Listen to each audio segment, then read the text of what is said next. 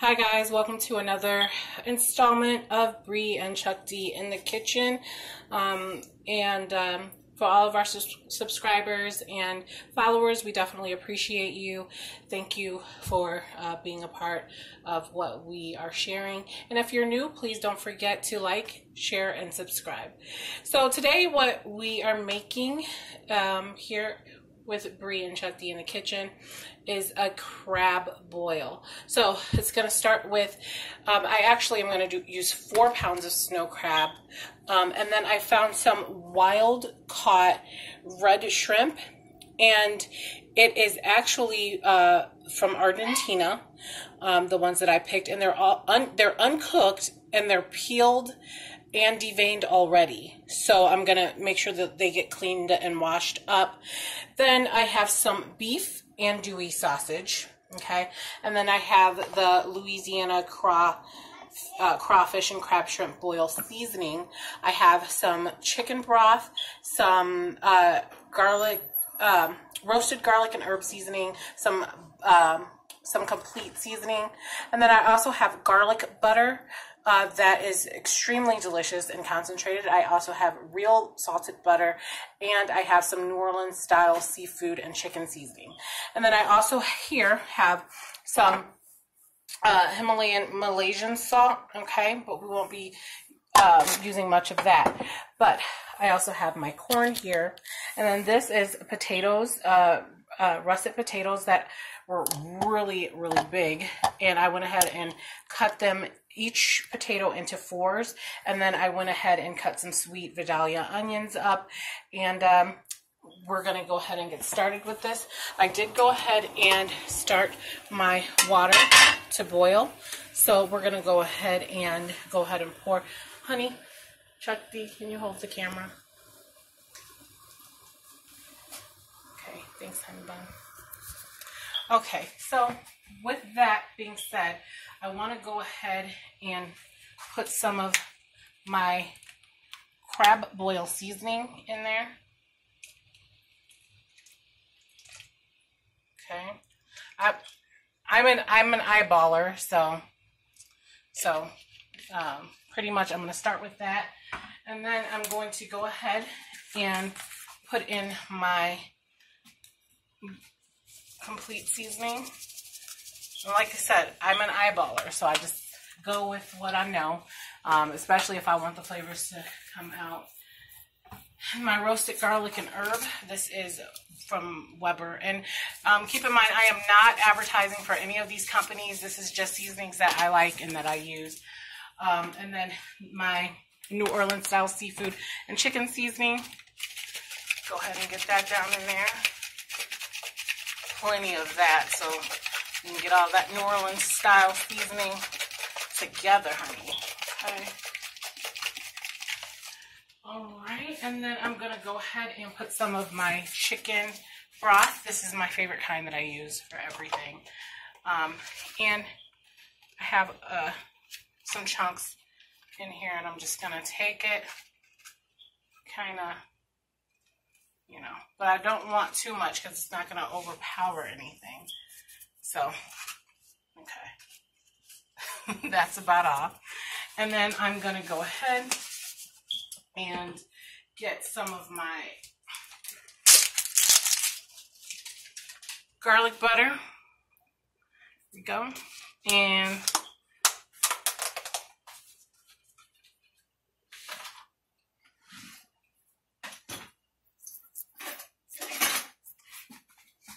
take a nice scoop of that to start. Drop it in. One more scoop of that to start. Okay. And then I'll add the real butter later, but for now this is good. And then I'm just going to take a pinch of my uh, Himalayan pink fine salt. Just a, a little bit in my palm, like this.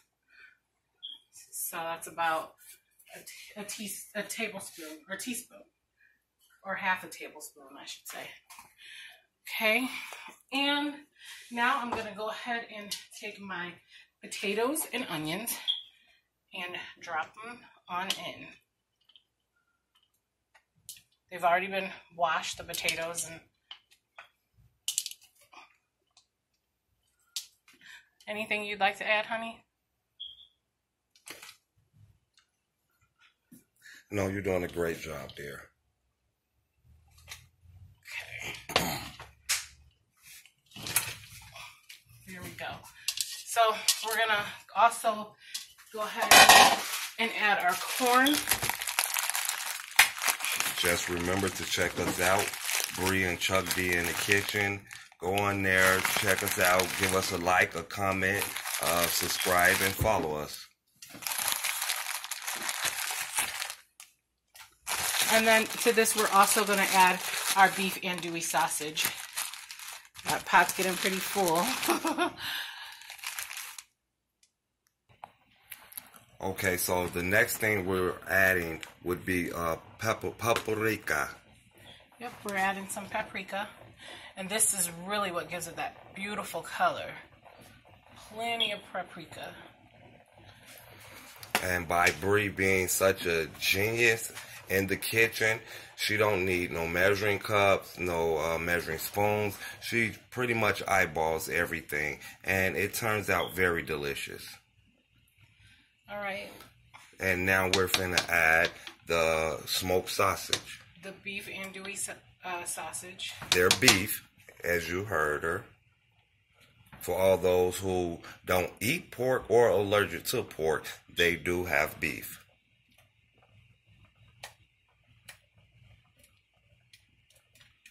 Okay, got plenty more beef to add. As you can see, we removed some of the water because that was way too much water. How, uh, how are we going to add all of our ingredients? Alrighty, and then we're gonna give this a stir. And so we're gonna cook this up. Um, and then I did go ahead and add more seasonings. Um, some garlic uh, powder. And I'm gonna add a little more because the more the more flavors that you have, the better. I do have some fresh thyme that I'm gonna put in there as well. And then that's some more roasted garlic seasoning. And I did add some more uh, Himalayan pink salt. And so at this point, it's it, and then I added some more of the garlic butter. So at this point, once the potatoes cook through um, and are nice and tender and ready to eat, then I'm gonna go ahead. We're gonna go ahead and uh, add our seafood. So right now, um, me and my husband are gonna go ahead and clean the the seafood and uh, let this get done. We're just going to cover it with the lid. And uh, and we'll be back with you shortly. All right, we went ahead and cleaned our shrimp. I mean, and these are some monster shrimp. I mean, they're not the biggest shrimp that you could ever buy, but they're some really nice size shrimp. Just look at that and they're uncooked. They're just the wild caught red shrimp and delicious from Argentina. And then um, we did go ahead and uh, get all of our crab legs nice and cleaned. I mean, and uh, it's quite a bit of them, and they're pretty large uh, pieces, if you could see that. So just waiting on the uh, potatoes to, to, to get done so that we could uh, go ahead and add these two um, things to our uh, dish. All right, just wanting to check on what's going on in the pot right now. Oh, if you could see the actual color, it's a nice light red, but on here you can't see. But see, our potatoes are getting cooked. Our uh, beef andouille sausage, our onions, our uh, corn on the cob. Everything is looking mm, really delicious. Just waiting on it to get done so we can drop uh, everything else in. And I'm going to get some uh, some other stuff prepared.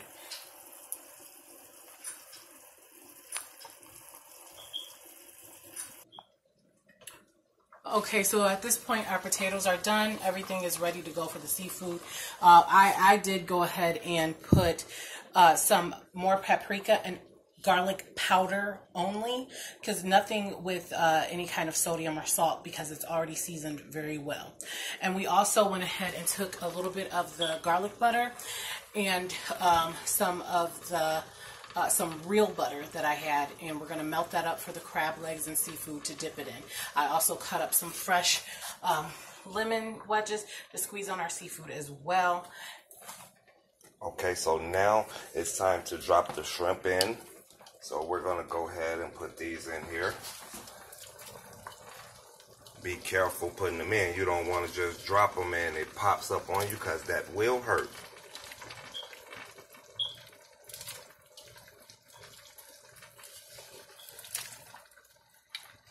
Pour it all in there. That'll be a lot easier.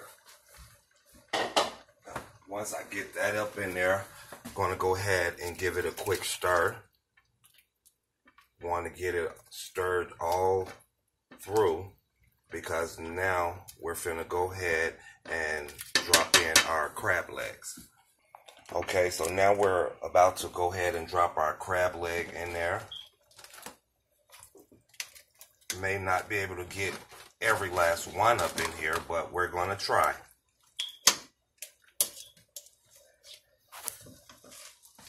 Honey, while you're doing that, I'm going to go ahead and Okay. kind of push Thank them you, Brie. down. No problem, anyone. Okay, go ahead.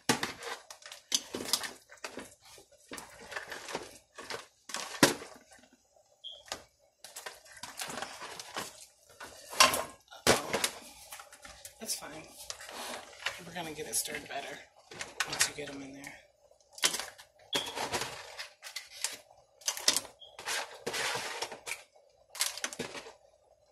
Okay, we're gonna get these stirred in and we're gonna cook it for about six minutes and they'll be done. You don't want to overcook them.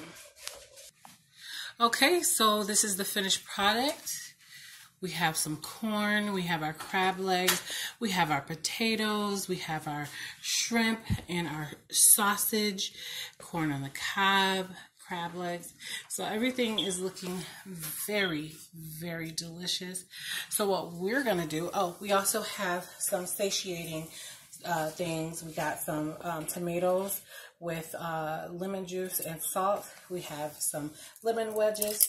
We also we also have uh, avocado slices, and then we have our clarified butter. And so we're going to go ahead and dig in. And we'd like to thank you for another for uh, for subscribing and for following our videos. Brie and Chuck D in the kitchen. Follow us, like, share, and comment. And don't forget to subscribe. We'll see you next time. Peace.